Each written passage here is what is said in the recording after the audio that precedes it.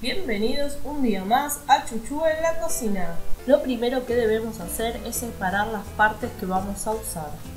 Te va a llevar un poquito de tiempo, es hasta que te acostumbres, parece medio difícil, pero el resultado que queda es espectacular. Le retiramos las puntitas y cortamos en dos las alitas. Es un poquito trabajoso pero súper rendidor, puedes acompañarlo de diferentes salsitas. A los niños les encanta y es una nueva forma de comer el pollo. Una vez que tenemos todas las alitas separadas vamos a comenzar a formar estas patitas.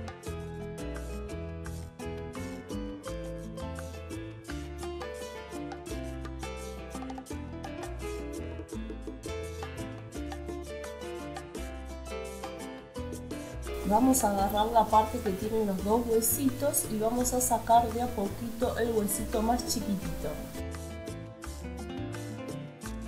Yo las hago bastante seguido, acá en casa les gusta a todos.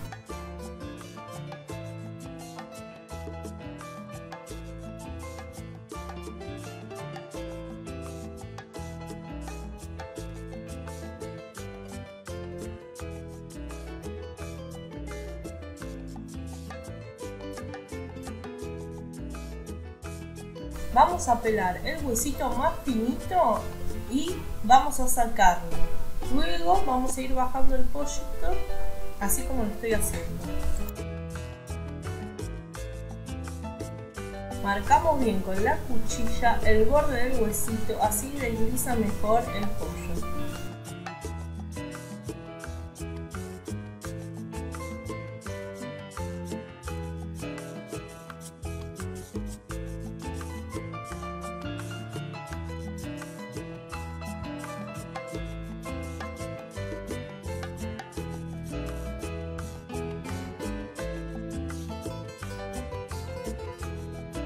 Como dije antes, no es difícil, es cuestión de práctica.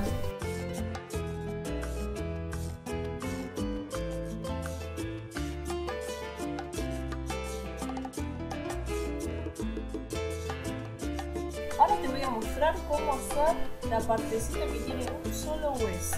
Es sencilla, nada más cortamos la fila del cuchillo bien al bordecito del huesito, hacemos el mismo proceso. Vamos llevando todo hacia abajo. Con la ayuda de la cuchilla podemos hacer que se deslice mejor. Vas a ver que esta partecita va a quedar con mayor cantidad de pollo.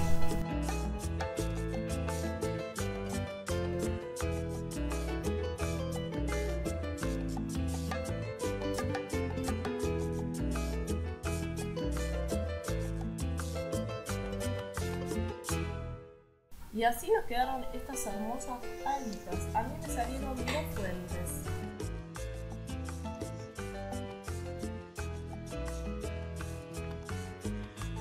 Bueno, teniendo ya las alitas, mira acá. Tres huevitos, orégano, bastante sal. Batimos. Y dejamos un rato largo nuestras alitas aquí adentro. Fíjate que le llegue a todas por igual.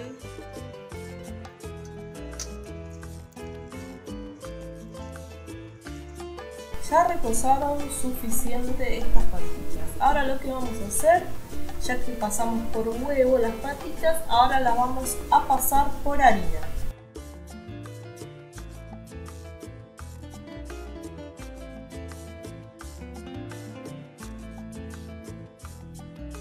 Vamos a hacer este mismo proceso con todas las alitas de pollo.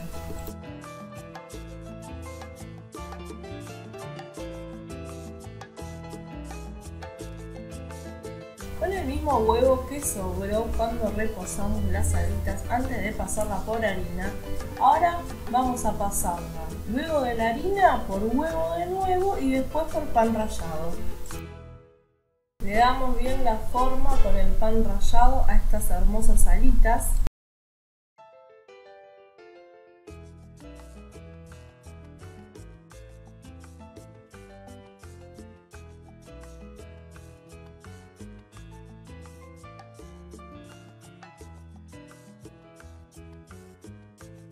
Miren qué lindas que quedaron, todas parejitas, hermosas. El aceite tiene que estar tapando las alitas, tiene que estar a fuego moderado y tienen que quedar bien doraditas de cada lado. Hay que ir girándolas de a poco.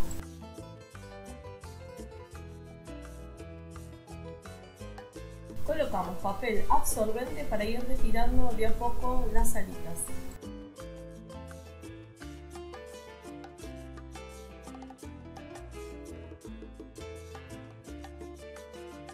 Y así quedaron estas deliciosas alitas. A no perdértelas por nada en el mundo. No te olvides de suscribirte a mi canal Chuchu en la cocina y activar la campanita